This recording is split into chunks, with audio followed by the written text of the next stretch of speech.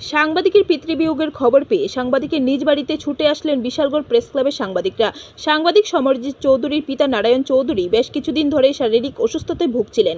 ওনার শারীরিক অবস্থা অবনতি হওয়ায় ওনাকে আগরতলা জিবি হাসপাতালে ভর্তি করানো হয়। জিবি হাসপাতালে চিকিৎসা চলাকালীন হাসপাতালে চিকিৎসকদের সমস্ত চেষ্টা ব্যর্থ করে গত রবিবার রাত একটা নাগাদ শেষ নিঃশ্বাস ত্যাগ করেন। মৃত্যুকালে ওনার বয়স হয়েছিল পঁয়ষট্টি। উনি একজন ত্রিপুরা হোমগার্ডের কর্মী ছিলেন।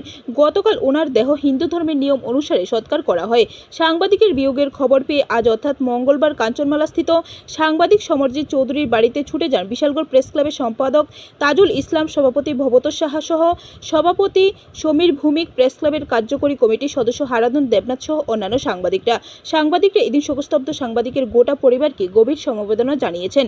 এক সাক্ষাৎকারে বিশালগড় প্রেস ক্লাবের সম্পাদক তাজুল ইসলাম জানিয়েছেন, বিশালগড় প্রেস ক্লাব সাংবাদিক সমরজিৎ চৌধুরীর এই দুঃসময়ে পাশে থাকবে।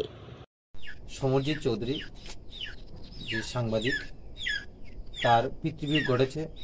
গতকাল আমরা আজকে খবর পেয়ে বিশালগড় প্রেস ক্লাবের সম্মানিত সভাপতি, সহসভাপতি ব্যুরো রিপোর্ট, খবর ত্রিপুরা।